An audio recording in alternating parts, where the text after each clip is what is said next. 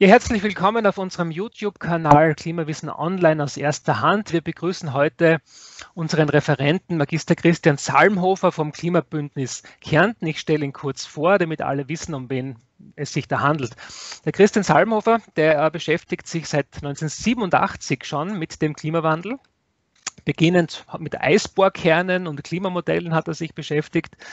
Das Thema Klimagerechtigkeit stand dann bald im Mittelpunkt seiner Arbeit. Und er zeigt so auf, auf Basis einer globalen Ethik die Probleme nationaler Klimabilanzen und Klimapolitik. Und sein gegenwärtiger Tätigkeitsschwerpunkt ähm, ist das eben das Thema Klimawandel am Beispiel Ernährungssystem, aber auch das Thema Klima und Migration ist eines, mit dem er sich beschäftigt. Heute spricht er aber über die Ernährung. Der blinde Fleck des Klimaschutzes heißt der Vortrag. Und worum geht es da? Falsche Ernährung die gefährdet ja nicht nur unsere Gesundheit, das wissen wir, sondern auch unsere Lebensgrundlagen. Das heißt, die Ressourcen unseres Planeten äh, und sein ganzes ökologisches, klimatisches Gleichgewicht. Vor allem, wenn man bedenkt, dass ein Drittel der Umwelt- und Klimabelastungen mit unserer Ernährung zusammenhängen. Darüber wird jetzt die nächste halbe Stunde äh, für uns reden, hat auch ein paar Folien dafür vorbereitet und Christian, ich übergebe hiermit an dich, sage wieder Danke, begrüße dich herzlich, danke, dass du wieder stehst und darf dich bitten, mit deinem Vortrag zu beginnen. Mhm. Ja, guten Morgen. Es freut mich sehr, dabei sein zu dürfen im virtuellen Raum. Danke Michael, danke Conny und danke an die 250 Teilnehmer, die ich jetzt nicht sehe. Also ich rede jetzt da in mein Kastel rein. Ich werde mit PowerPoint und Bildern das Thema begreiflich machen oder sichtbar machen und versuche euch sozusagen das Thema anzureißen. Ist ja sehr komplex und ich freue mich dann schon auf die Fragerunde. Jetzt werde ich die PowerPoint aufmachen, damit wir das alles richtig machen. So, müsste die, mhm. die PowerPoint ist jetzt da. Gut, also ich habe es genannt, die Ernährung der blinde Fleck des Klimaschutzes. Also Christian, vorerst sieht man die, die Folienansicht, die einzelnen. Die Präsentationsansicht sehe ich jetzt noch nicht. Vielleicht ah. ist es ein bisschen, ein bisschen verzögert. Also ich sehe, bei mir ist jetzt die Folie da. Ist bei euch die Folie sichtbar? also ich glaube, es sehen, es sehen, glaube ich, alle nur die, die Folienansicht, wo seitlich die. Aha, warte, ich werde noch einmal kurz sind. da. Vielleicht probierst du noch einmal zu starten. Wäre noch einmal zu starten, ist okay. Warte mal. So,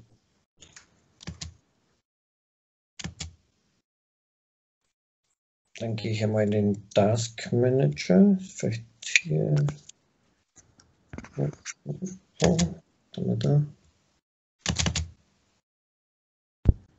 Siehst du jetzt da das Richtige? Also, jetzt, jetzt sieht man den Desktop von dir mit PDFs. Okay. Jetzt müsste, jetzt müsste es sein. Ja. Siehst du jetzt? Bisschen warte ich noch, weil es ist immer etwas verzögert. Mhm. Also ich sehe jetzt die PowerPoint bei mir. Mhm das erste Blatt. Na, funktioniert nicht. Aber wir machen wir folgendes. sehen alle deine Dokumente. Genau. Wir machen folgendes, Christian. Machen wir es noch gemeinsam. Es ist ja mit der Technik ist es ja immer so, wir haben es ja natürlich geübt mhm. und haben das letzte Woche hat wunderbar funktioniert. Ja, das haben wir gar wir beginnen einfach noch einmal. Also noch einmal mhm. unten äh, dieses Kästchen äh, äh, teilen, dieses Teilen-Kästchen im, im, im, äh, mhm. so, im Teams drinnen. Also zuerst müsstest du das, dieses Teilen wieder beenden, damit man mal den, den Desktop... Teil beenden. Sieht, ja? da habe ich zu schnell gedrückt. Mhm. Was ist das? Ja, so. es wird jemand langweilig. So, dann probieren noch einmal dieses Teilen. Ja, Teilen ist öffnen. Dann ja. müsstest du unten auswählen können die PowerPoint-Präsentation. Genau. Ja, probieren wir das noch einmal. Und jetzt mache ich die PowerPoint Aha. auf. Ja, lustiger. Also, mh. PowerPoint geht bei mir jetzt auf. Ja, lustigerweise sieht man es bei uns heute nicht. Sehr interessant. Mhm. Ganz was Neues. Soll ich dir es per E-Mail schicken oder so? Ah, das wird, das wird, jetzt, glaube ich, zu lange dauern. Ah, okay. ähm, mhm. So, warte mal, lass mich einmal überlegen, was wir jetzt auf die Schnelle machen. Mach, wir gehen noch mal, machen mal, geh mal ins, Entschuldige an alle, bitte einfach zwei, drei Minuten jetzt. Jetzt da? Ist jetzt machen. irgendwas? Ja. Jetzt sieht man zumindest die Folienansicht. Weißt du was, Christian? Wir machen es einmal so. Folienansicht, warte mal, warte eine Sekunde. Jetzt. Ja, jetzt schaut es gut aus. Siehst du was? Man sieht, ja. Danke, du kannst starten. Ah, sehr gut. Siehst du, Danke. was immer da war, es ist gelöst. So, also wir starten jetzt schnell an und beginnen eben mit dem Vortrag Die Ernährung, der blinde Fleck des Klimaschutzes. Und ich möchte am Anfang so ein bisschen leicht philosophisch beginnen, weil wir haben ja gerade die Corona-Krise, also die Pandemie, und die ist ja ausgelöst von einem Virus und den Virus kann man auch nicht sehen. Und der Virus hat auch den Charakter, dass sich weltweit verteilt. Also jeder Staat auf der Welt ist mit diesem Virus beschäftigt. Und der Klimawandel hat das ähnliche Problem. Er verteilt sich gleichmäßig um die Erde. Also das Klima ist weltweit verteilt.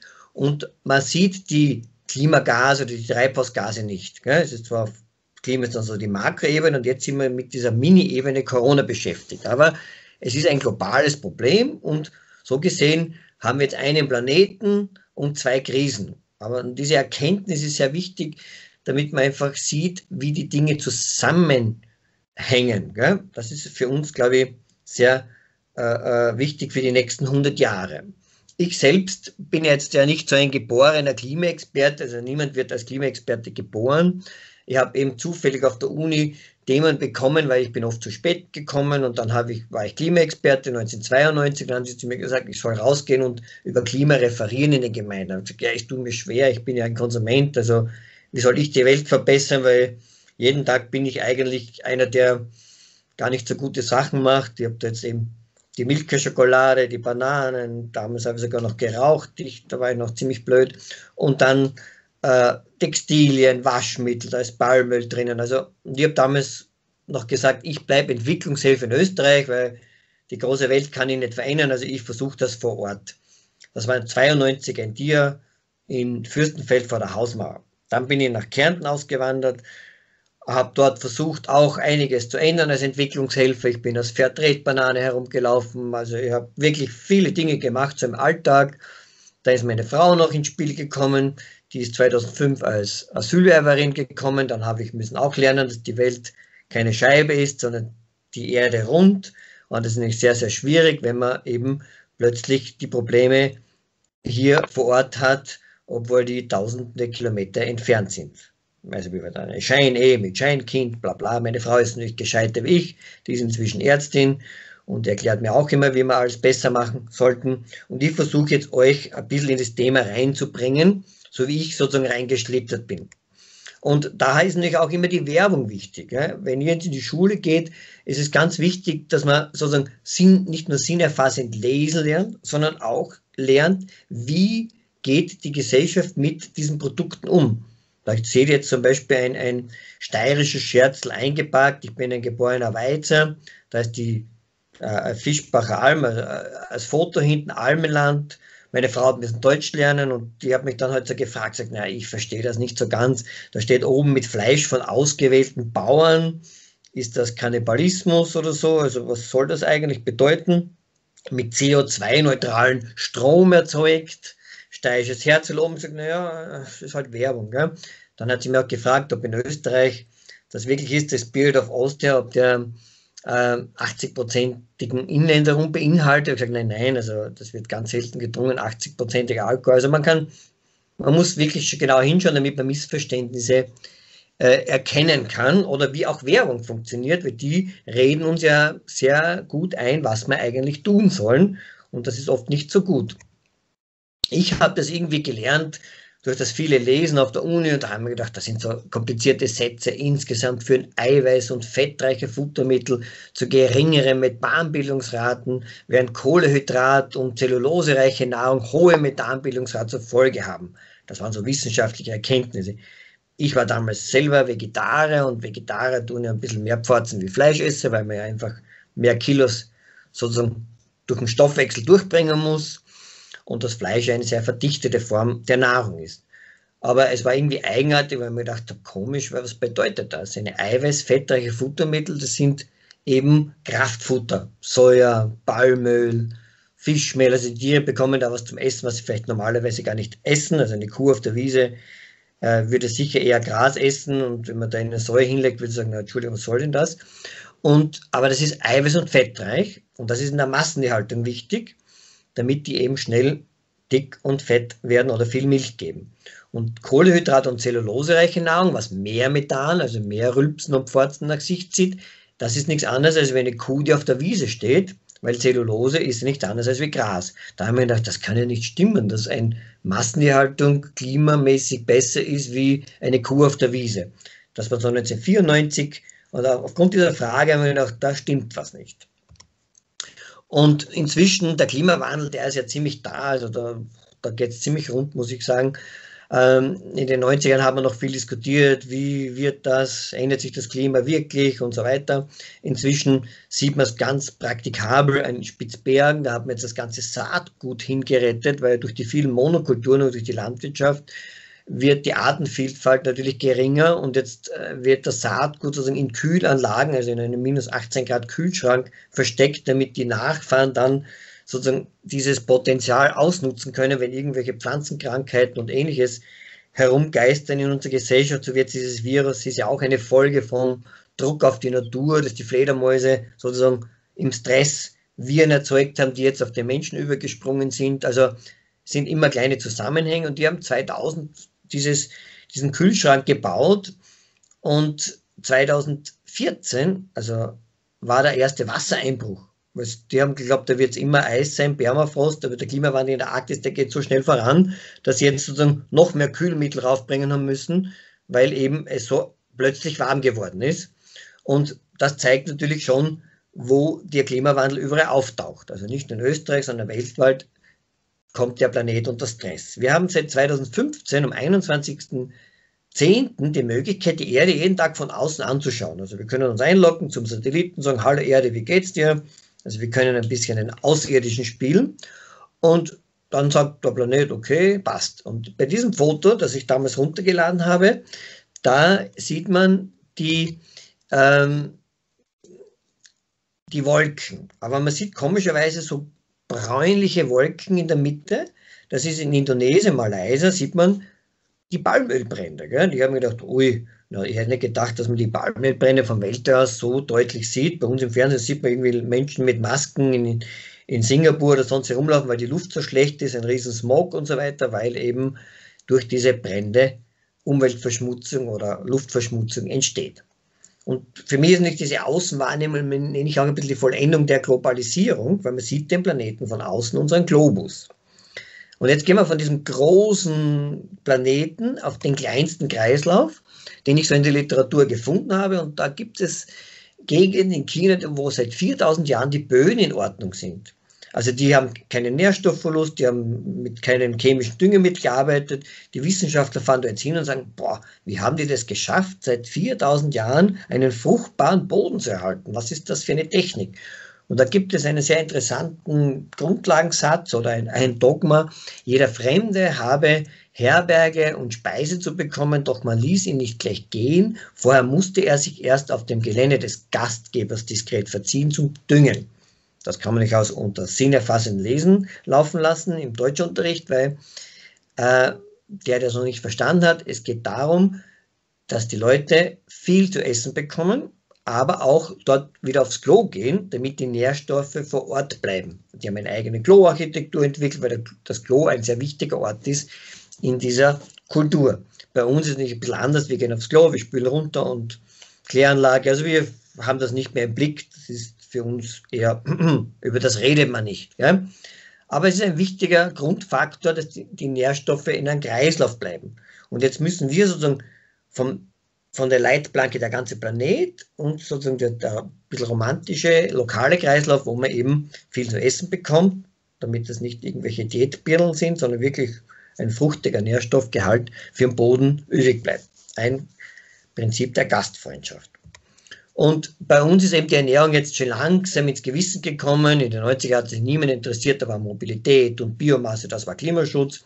Jetzt kommt das schon langsam in das öffentliche Bewusstsein und man sagt heute so ungefähr 20, viele sagen sogar 30 Prozent, also ein Drittel ähm, der ganzen Klimaprobleme oder Klimakrise kann man auf die Ernährung zurückführen, also auf das gesamte Ernährungssystem. Man sieht hier den ganzen Haufen, den wir so essen als Familie in einem Jahr Und natürlich jedes Produkt wird erzeugt, das kommt von woher und so weiter. Also diese Dinge werden hier einberechnet. Und dann gibt es verschiedene Studien, die versuchen uns das ein bisschen klarer zu machen. Und in Österreich wird das eher so nebensächlich behandelt. Die Schweizer haben eine interessante Studie gemacht. Sie haben sie genannt A Drew and a Fair View. Also wir haben viele Studien von der ETH Zürich verglichen. Und dann haben die Schweizer gesagt, naja, 60 Prozent der Schweizer Umweltbelastungen fallen durch Importe von Waren und Dienstleistungen im Ausland an. Also jetzt nicht in Schweiz, sondern sie kaufen ein, so wie wir in den Supermarkt gehen, aber die, die Umweltverschmutzung oder Zerstörung ist gar nicht in Schweiz, sondern irgendwo anders auf der Welt. Und 30 Prozent davon ist der Ernährung zugehörig. Das war für mich sehr überraschend. Ich dachte, oh, also in Österreich wird nur gesagt 6% Landwirtschaft und da ist der Verkehr und Verkehr und dann Mobilität und dann zu Hause die Wohnung und Heizung. Aber die Ernährung, dass das so groß ist, hat mich auch überrascht. Und ich dachte, ja, wie ist das? Nicht? Und natürlich versteht man es, wenn man daran denkt, dass man eben Futtermittel und alles importiert.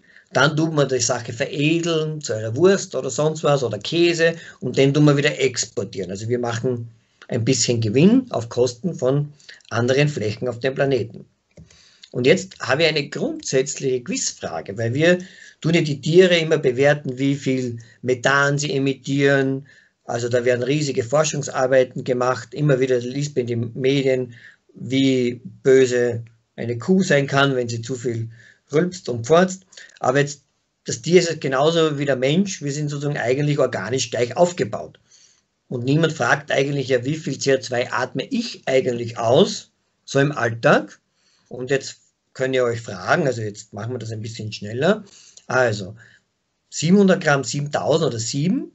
Und die Antwort ist, wir atmen im Schnitt 700 Gramm CO2 pro Tag aus. Und wenn man das jetzt natürlich mal 8 Milliarden rechnet und der Kronenzeitung schickt, dann schreibt die natürlich Titelblatt, boah, die Menschheit emittiert pro Tag so und so viele Millionen Tonnen äh, Methan, das kann man dann in CO2 umrechnen und so weiter. Also wir würden da eigentlich sehr mh, hm, klimaschädlich wirken.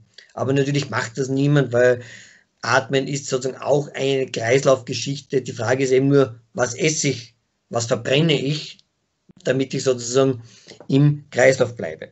Natürlich einer, der im Bett liegt, tut ein bisschen weniger CO2 emittieren, der, der Marathon läuft, tut ein bisschen mehr emittieren. Also ich kann jetzt auch nicht sagen, tut euch wenig bewegen. Also es ist eine Klimaschutzmaßnahme. Also man merkt schon, da kommt man ganz absurde Denkweisen, die moralisch, ethisch in keinster Weise vertretbar sind. Aber bei den Tieren, da tun wir das natürlich relativ konsequent und da wird da umgerechnet, ein Kilo Milch hat so und so viel Methan und da gibt es dann Fußabdruck und alle möglichen Dinge. Also die Menschen werden da sehr, sehr verwirrt. Ja? Und ich sage halt immer, naja, wie soll das sein? Eine Kuh, die auf der Wiese steht, was soll die klimaschädlich sein? Nicht? Die isst Gras, das ist Kohlenstoff. Die ganze Kuh besteht ja aus Kohlenstoff, Wasser und ein paar Spurenelementen. Dann wird es verarbeitet, hinten fällt die Flade auf den Boden, die Bodenlebewesen bauen damit den Humus auf. Also die Kuh steht ja nicht mit dem Strohhalm auf dem Feld und tut da irgendwie Erdgas oder Kohle rauszuzeln, also oder Kohlesteine abschlecken, sondern das sollte man eigentlich gegen Null rechnen. Die Frage ist ja nur, wie viele Kühe stehen auf der Wiese. Nicht?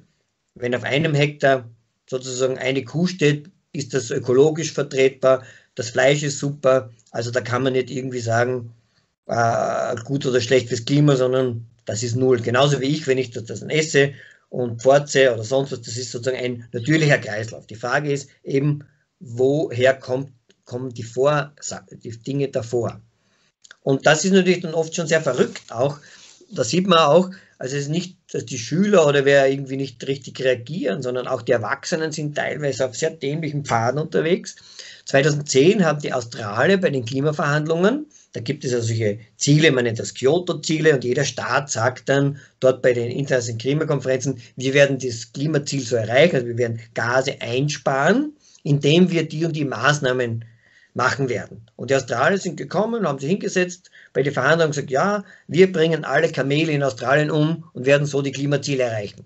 Jetzt sind nicht die anderen Staaten gesessen, Hä, was ist jetzt los? Was ist in Australien? Die haben gedacht, da gibt es Koalas und Kängurus, aber mit Kamelen habe ich noch wenig zu tun gehabt. Im Biologieunterricht hat man das auch noch keiner erzählt. Gut, was ist passiert? die Australier haben die Afghanen nach Australien geholt für den Eisenbahnbau.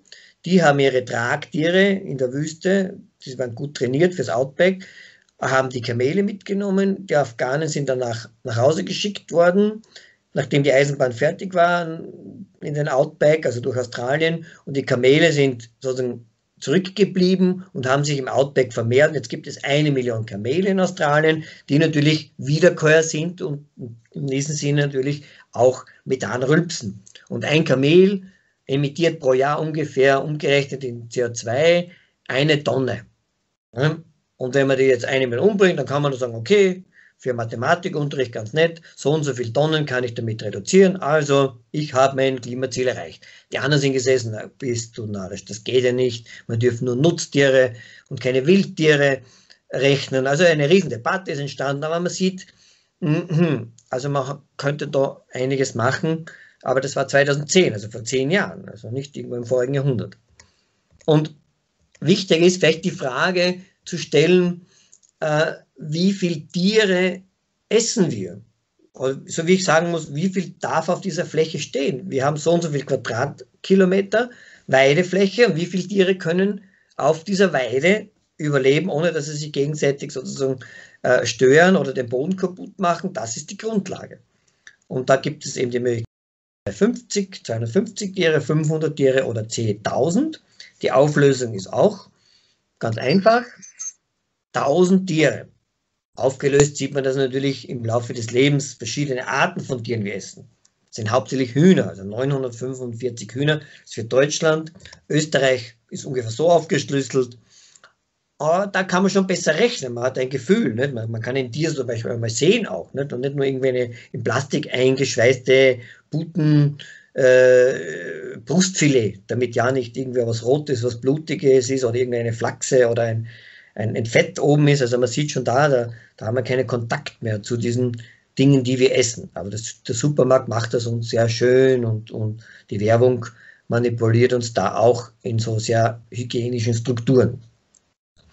Ähm, wichtig ist jetzt, wenn man global sieht, naja gut, jetzt essen wir das ganze Fleisch, aber es gibt nicht den ganzen Planeten und das haben wir schon vorher gesehen, Palmen sieht man vom Welt aus, man sieht aber auch natürlich in Südamerika, jedes Jahr sind Tausende, also hunderttausend Brände, die für den Außerirdischen von außen blickend auf die Erde sichtbar sind. Und da muss man sagen, ja, warum brennt es? Da sind die Brasilianer oder die Argentinier oder die in Paraguay komplett blöd oder warum zündeln die so viel herum? Und da muss man sagen, naja, das ist eigentlich nicht unbedingt, weil die dort so dumm sind, sondern die produzieren für uns sehr viele landwirtschaftliche Produkte, unter anderem eben Soja als Futtermittel, das wir nach Europa bringen oder die für uns in Europa sind, damit sie Geld verdienen. Billig natürlich. Das ist Bolivien, ja, das ist noch einmal Borneo, die Palmölplantagen, also ein paar so Eindrücke von oben. Und wenn man jetzt in Österreich zurückblickt, wir diskutieren die Sachen oft ganz anders. Nicht? Man sieht da 1900, Aspang in Niederösterreich, Dreifelderwirtschaft, die Weiden sind noch vor Ort. Man hat da gesagt, ja, rund um einen Kirchturm kann man sich sozusagen ernähren, also das ist sozusagen der Supermarkt ist rundherum. Und dann schaut man 100 Jahre später, da ist plötzlich nichts mehr von der Dreifelderwirtschaft, die Weiden nicht vor Ort, sondern da sieht man, die Biomasse wächst bei uns beim Fenster rein. Das ist nicht jetzt super für Klimaschutz, wir können jetzt da Holz verheizen, wir machen eine Hackschnitzelanlage, machen Fernwärme und schon sind wir Klimaschutzweltmeister. Umgekehrt muss man sich jetzt fragen, ja, wo sind die Weiden hin? Das ist ja bei uns so, nicht? Also sieht man auch, die meisten hier sind in Stellen, die man nicht mehr einsehen darf. Und der ist jetzt nicht die Weide in der Tiefgarage von Biller. Auch sind die Österreicher nicht Vegetarier geworden. So 1900 hat jeder vielleicht 10 Kilo Fleisch im Jahr gegessen, so ein Sonntagsbraten. Jetzt essen wir, keine Ahnung, 65 Kilo pro Jahr, wenn man noch Flachsen und Knochen alles wegtut, sonst sind sie 100 Kilo. Und ähm, wie gesagt, wenn ich dann frage, ja, wer isst das Soja, da gibt es auch oft sehr betroffenes Geschau. Und dann sage ich, ja, eigentlich jeder Österreicher müsste über 80 Kilo Soja essen. Aber das kriegen halt die, die Tiere davor, bevor wir sie dann essen. Nur diese Flächen sind ja nicht in Österreich, sondern die werden eben aus verschiedenen Ländern der Erde geholt. Und äh, ja, das sind nicht wenige Tonnen. Und äh, natürlich, das muss man einrechnen. Das ist sozusagen einmal die Grundlage, damit man diese Basisrechnung macht. Es gibt ja auch verschiedene Fleischsorten, ne? der Huhn ist am effizientesten und so weiter. Ja, das könnt ihr dann später mal anschauen. Und jetzt eine kleine Quizfrage auch wieder, weil wenn wir vom Planeten reden, müssen wir uns ja auch den Planeten vorstellen können. Und wir haben keine Sensoren für das. Wir sind nicht aufgewachsen, das kann ich schmecken, das kann ich fühlen, das kann ich hören, sondern der Planet, das ist noch eine, eine, eine Sensorik da dumm und schwer. Das ist sozusagen auch für die Religion und für alle. Wir müssten den gesamten Planeten wahrnehmen, das haben wir noch nicht gelernt. Also über die letzten Jahrtausende sicher nicht. Wir können die Erde erst seit 60, 70 Jahren von außen beobachten. Also deswegen sage ich mir, wir sind die ersten Außerirdischen.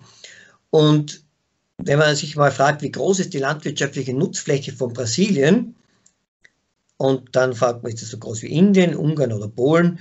Also die wenigsten denken, dass es Indien ist. Dabei ist es so. Man schaut jetzt hier zum Beispiel die äh, Karte an, wo die, der Planet flächentreu dargestellt ist. Eine sogenannte Peters-Projektion, die hat man auch erst in die 70er Jahre, also erst vor 50 Jahren erfunden. Und ähm, die ähm, Fläche von Indien seht ihr da und wir sieht auch die Fläche von Brasilien. Also Indien würde ganz locker in die landwirtschaftliche Nutzfläche von Brasilien gehen. Also Nutzfläche heißt einfach dort, wo wirklich Landwirtschaft betrieben wird, wo ein Acker ist, wo Getreide geerntet wird, wo eine Weide ist, wo eine Kuh steht. Das ist kein Urwald oder irgendeine Gestetten, sondern wirkliche Nutzfläche.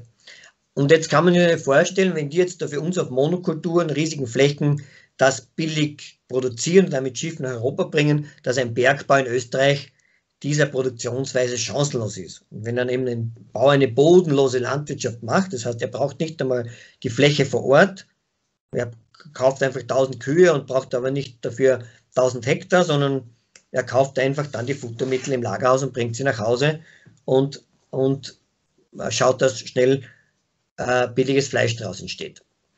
Und das ist natürlich jetzt äh, weltpolitisch gesehen gar nicht so einfach, ne? weil immer in der Vergangenheit so oft Kriege gegeben, nicht? weil wenn man im Ausland sozusagen die Flächen benutzt, die eigentlich die eigene Bevölkerung auch brauchen könnte für die Ernährung, dann ist es ein ziemlich großer Konfliktstoff. Also in diesen Ländern ist noch teilweise mit Demokratie nicht allzu viel her. Nicht? Also man sieht es auch in Brasilien, Bolsonaro, also ein sehr, sehr verrückter Staatsmann, der derzeit an der Macht ist.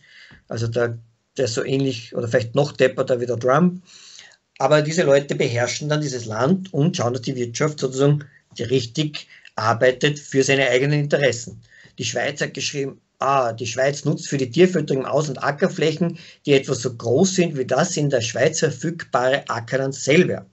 Also die Schweiz ist ein sehr reiches Land, die können sich das leisten, die gehen in den Supermarkt und der Franken ist sehr, sehr äh, gut von den Devisen her, also die haben kein Problem, Fleisch zu kaufen, aber eben die Schweiz auch ein Alpenland, so geologisch, geomorphologisch wie die Alpen, also viele Steine, wenig Ackerflächen. Und natürlich müssen dann die Flächen außerhalb von der Schweiz sein. Und das ist natürlich auf Dauer gesehen, auf global gesehen gar nicht so gut. Ja, wichtig ist für mich einfach diese Art von Werbung. Sie ist, die ist sehr ehrlich, da ist kein Schmäh dahinter. Bio ist ein sehr geschütztes Gütesiegel, das einzige Gütesiegel, was gesetzlich geschützt ist. Das ist wichtig, weil da kann nicht einer betrügen und sagen, ja, du so wie auf Bio wäre, sondern hier kann ein Richter einen verurteilen und sagen, du hast betrogen, du kriegst eine Strafe. Aber wichtig ist der Spruch, weil wir trinken, was sie isst. Und das ist so. Ne? Das sind Regeln, wenn man sagt, okay, wenn eine Kuh auf der Wiese steht und die Kräuter isst, dann wird das verarbeitet und geht in die Milch auch als Nährstoffe rein. Ne? Also wir trinken, was sie isst.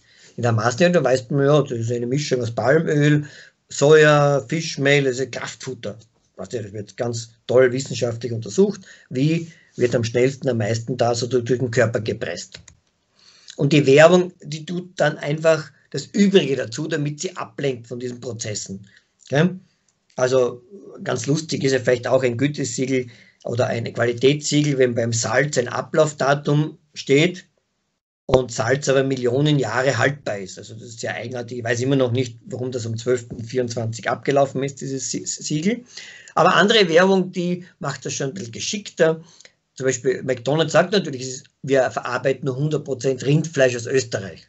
Die sind sogar so genetisch mutiert, dass sogar die Österreich-Karte schon am, am Körper haben. Aber die Frage ist eben, woher kommen die Futtermittel? Gell? Reichten die aus, die man in Österreich hat, oder wird da einiges dazu gemischt? Und wenn man das rechentechnisch durchrechnet, dann merkt man, dass das mit dem Klimaschutz alles nicht zusammenpasst. Da wird zum Beispiel ganz böse gesagt, ein, ein Fleisch aus Argentinien hat 282,4 Gramm CO2 pro Kilo. Das ist ein absurder Wert, sowas kann man gar nicht rechnen, aber die Werbung macht halt irgendwie so, was das ist sich wichtig. Und das oberösterreichische Rindfleisch ist 0,7, also ist schon fast romantisch gut für den Klimaschutz pro Kilo, weil das ist nur die, die, die Fahrt zum Schlachthof ist da irgendwie eingerechnet worden. Und jetzt machen wir das Gedankenexperiment, was sehr wichtig ist. Wir nehmen an, äh, wie viel Soja, also da müssten ja ein Schiff nach dem anderen von Brasilien über den Atlantik nach Europa, also die fahren ja dort schon mit dem Auto bis zu einem Hafen, dann wird es auf das Schiff geladen, dann wird es entladen, dann wird es mit LKWs oder mit Zügen durch Europa geschickt, dann fährt der Bauer ins Lagerhaus. Und die Pointe ist ja, die Soja hat ja auch ein Gewicht. Und ich muss ja das x-fache an Soja dem Tier reinfüttern, damit ein Kilo Fleisch rauskommt. Also das heißt, ich führe riesige Tonnen und Kilo, Kilo, Kilo, Kilo über einem halben Erdball, damit ich hier ein Kilo Fleisch mache. Also klimaschutzmäßig wäre es eigentlich besser, ich schlachte das Tier gleich in Brasilien und mit einer Kühlkette über Schiff bringe nach Österreich, ist das wahrscheinlich fürs Klima besser als wie die Futtermittel um den halben Erdball, weil man muss ja das eben verdichten, weil ich also die Rohstoffe hier transportiere. Ja? Und es gibt halt die Werbung, die sind teilweise, schaut euch das wirklich im Supermarkt an, dass man konzentriert Werbungen anschaut. Ein Höhepunkt war in letzter Zeit, also Eierschwammerl aus Österreich, Ursprung Bulgarien, Serbien. Gell? Also ganz eine tolle Sache. Und ein Höhepunkt, das war, wir gerade in der Steiermark sind, das war das, das Haifischsteak von mit Bauernhofgarantie, das hat es auch gegeben. Aber dieser Haifisch ist eigentlich nie gefunden worden, also der Swimmingpool, wo dieser Haifisch ist. Also wir sind immer noch auf der Suche, aber ich glaube, das war auch ein Schmäh. Und wichtig äh, ist einfach, dass man sieht, ähm, wo wird Energie verbraucht. Also ich kann jetzt nicht sagen, ja, der ist gut und böse, man muss ein ganzes System anschauen und das ist ein bisschen komplexer. Da sind viele Parameter. Also in der Mathematik weiß das, also wenn da mehrere Parameter sind, dann ist die Gleichung ein bisschen schwieriger. 1 und 1 ist 2, okay, aber viele, die Werbung machen ja diese Taktik. Und wenn man hier sieht, dass die Landwirtschaft hauptsächlich an den Emissionen schuld ist, so 50 Prozent, und zum Beispiel der Transport ist nur mit 4 Prozent beteiligt. Aber wenn ich in der Bevölkerung eine Umfrage machen würde, dann würde jeder sagen, ja, der Transport ist so klimaschädlich, deswegen kaufen wir nur in der Region. Aber wenn in der Region sozusagen eine Landwirtschaft herrscht, die das Futtermittel zuerst aus Brasilien holt, wie soll ich das dann irgendwie äh, regional sein? Gell? Das kann ich nicht. Da ist ein Rechenfehler. Und die 500.000 Tonnen für Österreich, die kommen wirklich nach Österreich. Die sind nicht irgendwie hier nur versteckt. Ähm, lustig ist ja auch, äh, das ist der Werner Brucker aus Blumer, den kenne ich als, als, als Jugendlicher, oder wir sind ungefähr gleich alt, der ist halt von der Landwirtschaftskammer.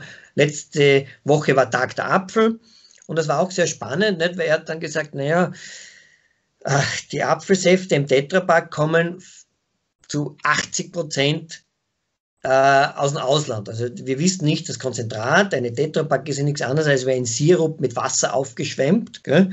Zuerst wird ein Sirup gemacht. Ob das jetzt Orangensaft aus Brasilien ist, die wird eben als Sirup, fährt da ein Schiff rüber, tiefgefroren und das wird halt bei Bargo oder bei Rauch mit Wasser aufgeschwemmt und dann in eine Tetrapack eingepackt. Und jetzt schaut man im Supermarkt an, wie viel Tetrapack das gibt. Und im Endeffekt geht es darum, um den Sirup. Bei normalen steirischen Apfelsaft, der in einer Flasche ist, und da steht oben, da ist ein Biogütesiegel, was oben da ist, kein Betrug. Aber wenn man jetzt irgendwo sagt, ich kaufe jetzt, äh, keine Ahnung, Clever Orangensaft, dann kann ich sagen, okay, danke, liebes, liebe Chinesen, ihr habt das Kontrast gemacht, danke, liebe Polen, aber mit Österreich hat das sicher kaum was zu tun.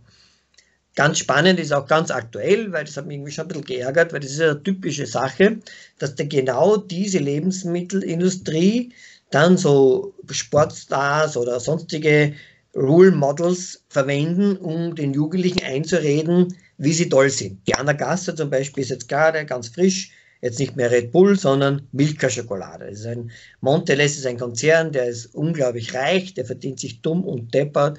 Die tun Millionen, aber Millionen Beiträge in die Werbung machen, damit diese rosarote Kuh mit Alpenmilch, die Milch ist dann für Österreich, ne? aber das Problem ist der Kakao, da gibt es nicht extreme Ausbeutungsvarianten in der Elfenbeinküste oder in Ghana, wo immer dann die Kakaobohne herkommt. Ja? Milka heißt ja Milch und Kakao, ein bisschen übersetzt. Aber das ist irgendwie tragisch, ne? weil die essen in Wirklichkeit kaum die Schokolade. Wie die Snowboarder zum Beispiel in den 90er Jahren noch keine Sponsorverträge gehabt haben. Da war in einer Schülerzeitung drinnen, die Skifahrer haben erklärt, was sie beim Frühstück essen. Da haben die Skifahrer natürlich genau das gesagt, was die Sponsoren ihnen zuerst erwähnt haben. Wir kaufen das Müsli so und so und das und das, also Marken fixiert. Und die Snowboarder haben damals, die waren noch ganz neu und progressiv, also noch keine Wettbewerbskultur gehabt, das waren so, so Freigeister. Und die haben gesagt, ja, ich mache mal selber ein Müsli und so und so. Also wirklich sozusagen gesund, weil sie ja sich selbst mit, mit dem Snowboarden assoziiert haben. Und dann sind, kommen die Sponsoren und dann kommt ein Marketing dazu, was vielleicht nicht die Gesundheit im Mittelpunkt ist, sondern eher der Verkaufs, die, die, die Rendite. Die Biobauern haben einen Riesenvorteil, die haben eine Kreislaufwirtschaft, die eben Acht nimmt, haben wir den Boden vor Ort. Die Biobauern haben deswegen zwei Drittel weniger CO2 pro Hektar, weil sie eben nicht die Futtermittel weltweit herumkarren und die Stickstoffdüngemittel, die sozusagen die chemischen Düngemittel, die sind ja auch nichts anderes als wie zuerst das Erdgas produziert im Haber-Bosch-Verfahren, wird sozusagen Stickstoff in die konventionelle Landwirtschaft gebracht, also Erdgas auf Feld geschüttet und da ist natürlich auch ein Drittel der Energie. Also wenn man Futtermittel und Stickstoff, Düngemittel zusammenrechnet, dann kommt ein großer Energieverbrauch zustande, der beim Biolandbau nicht so massiv gegeben ist. Natürlich gibt es kleine Feinheiten, da kann man diskutieren. Hier ist zum Beispiel Humus, Bodenaufbau, das ist da nicht einmal drin in der Rechnung. Also da kann man noch einige Vorträge dazu machen, aber nur mal als Orientierung. Und sehr wichtig ist, jetzt kommen wir ein bisschen zum Schluss, ist natürlich, der ökologische Fußabdruck ist das eine, aber ich muss nicht auch das Soziale mitdenken. Es kann nicht sein, dass jeder mit der Hand gepflückte Baumwolle gibt, ne? so wie in den Südstaaten mit der Sklaverei. Nicht umsonst hat man ja sozusagen aus Afrika die Menschen geholt, damit die billig sozusagen für uns die Baumwolle pflücken. Und dann hat man nicht Agent Orange Entlaubungsmittel erfunden, da hat man drüber gesprüht, also das nicht nur im Vietnamkrieg eingesetzt worden ist zur Entlaubung, sondern auf den Baumwollfelder, damit wir ganz billige Baumwolle haben, die heute halt dann in H&M und C&A und überall dann äh, zu kaufen sind. Also man muss dieses Gleichgewicht halten zwischen Ökologie und Sozialen. Und das ist auch ein schwieriger Parameter. Und deswegen muss ich noch eine dringende Werbeeinschaltung machen. Die Weltläden, das ist ein Fachgeschäft, das sind nur Fairtrade-Produkte. Im Supermarkt gibt es in Teilen Fairtrade. Also dieses Gütesiegel ist leider nicht gesetzlich geschützt. Also zumindest hoffen wir, dass sich alle an die Regeln halten. Aber wie auf der Welt das oft so ist, gibt es überall so Leute, die einfach mehr Geld haben wollen und müssen machen oder sonst was, also nicht so korrekt sind. Aber es ist eine gute Orientierung. Ich frage halt immer schon ein bisschen blöd auch, es ist schon eine sehr gemeine Sache, dass man überhaupt so ein Siegel haben muss, weil ich denke, jeder Bauer auf der Welt ist ein, ein guter Bauer und der will für seine Arbeit den gerechten Lohn. Also das sollte man nicht nur mit Gütesiegel das geht um Arbeiterschutzgesetze, es geht um gewerkschaftliche Organisation, das muss eigentlich sozusagen gesetzlich sein. Und das muss man auch der Bevölkerung ganz klar sagen. Wenn du das kaufst wie eine Milka-Schokolade, dann bist du bei Kinderarbeit 100% dabei. Natürlich, die Leute sind auf Schnäppchenjagd, das ist die andere Geschichte. Leider, aber so ist es. Wichtig ist ja auch, Kreisläufe zu schließen. Ne? Es gibt ja zum Beispiel auch viele Bäckereien zum Beispiel, die kaufen dann energieeffizientere Autos, also die können damit weniger Sprit weiterfahren und die tun jetzt nicht nur lokal ausliefern, sondern sagen, okay, wenn ich mit weniger Aufwand weiter fahren kann, dann beliefere ich auch weiter weg. Also Ankerbrot hat zum Beispiel dann von Wien bis nach Lienz das Brot geliefert. Aber in Wirklichkeit geht es darum, sozusagen den lokalen Bäcker, Brot ist einer der wichtigsten Grundnahrungsmittel, zu erhalten. Also jeder, der einen Bäcker zu Hause hat, soll ihn bitte unterstützen und auch bitten, dass er Biobrot macht. weil irgendwo einkaufen, irgendwelche Backmischungen, das ist auch zu wenig.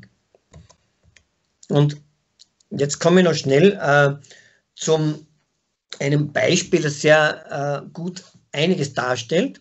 Wenn man im Kindergarten ein Kind gibt, dann muss man zahlen fürs Essen. Da zahlt man 150 Euro im Monat und dann kriegt man jeden Tag das Essen. Aber man weiß ja nicht, was machen die Küchen, machen die das richtig. Und das ist sehr interessant. In Klagenfurt, wo mein Kind war, da war in Wirklichkeit der Wareneins. Also es ist wirklich was am Mittagstisch, also am Teller oben ist. Also nicht das Teller und der Koch und so, sondern wirklich, was kostet nur das, was am Tisch ist. Und da gibt es einen sehr sonderbaren Wert. Also das Fleisch, die Erdäpfel, der Reis, das sind nur 46 Cent, also sagen wir 50 Cent, ein halber Euro. Und da merkt man, aha, die Ware selbst, das eigentlich das Wichtigste ist, der Rohstoff, ist eigentlich sehr billig. Das Geld geht dann in die andere Logistik und in, in die Küche oder sonst wo, aber der Bauer kriegt eigentlich relativ wenig Geld, wenn man so sagen darf, für das, was da bezahlt wird.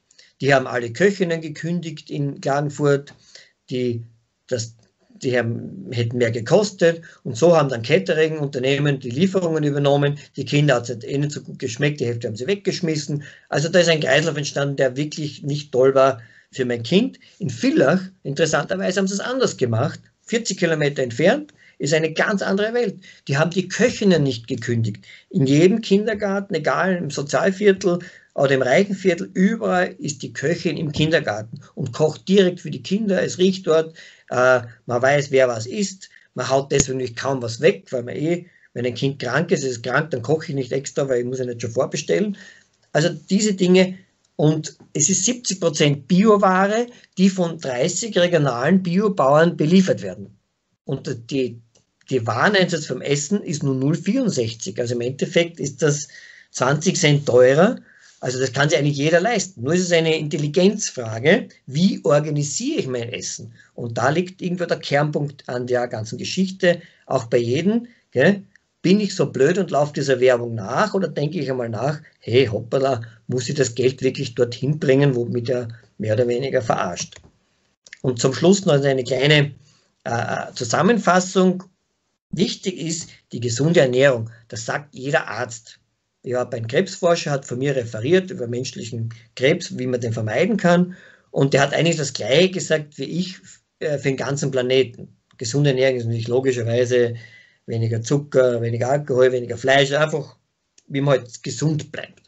Natürlich ist der biologische Landbau wichtig, wegen der Artenvielfalt und all diesen Zusatzprofiten, die der biologische Landbau mit sich bringt. Denkt nur an die Bienen und so weiter.